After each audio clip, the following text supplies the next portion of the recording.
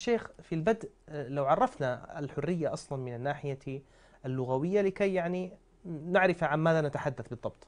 نعم، بسم الله الرحمن الرحيم. الحمد لله رب العالمين وأصلي وأسلم على المبعوث رحمة للعالمين نبينا محمد وعلى آله وصحبه أجمعين. أما بعد فالحرية في اللغة ضد العبودية وتستعمل في اللسان العربي للدلالة على الشيء الخالص الكريم. ومنه قول ربنا جل جلاله نذرت لك ما في بطني محررا, محررا. أي خالصة. هذا كلام امرأة عمران. آه، ربي إني نذرت لك ما في بطني محررا فتقبل مني إنك أنت السميع العليم.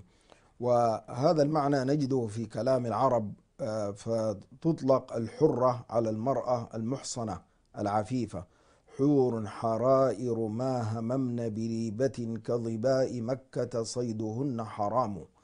وقول الآخر إن كنت عبدا فنفسي حرة كرما. أو أسود اللون إني أبيض الخلق.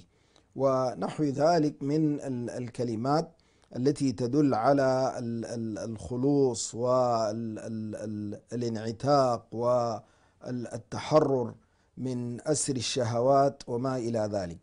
ومنه قول القائل كذلك العبد يقرع بالعصا والحر تكفيه الملامة.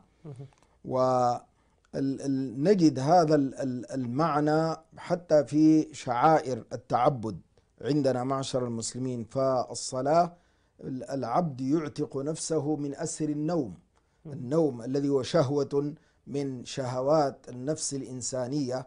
في مع قصر الليل في في في شدة الصيف يهب لصلاة الفجر متحررا من هذا الأسر. وكذلك في الصيام يحرر نفسه من أسر الشهوات في المطعم والمشرب وحب الجنس الآخر وما إلى ذلك.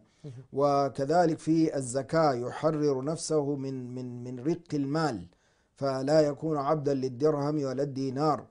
وفي الحج كذلك يحرر نفسه من أسر العادات والأنس بالرفقة والأصحاب فيلبس لباسا غير اللباس ويجافي ما اعتاده من قلم الأظفار والتطيب ولبس المخيط وما إلى ذلك ويخرج إلى بيت الله عز وجل.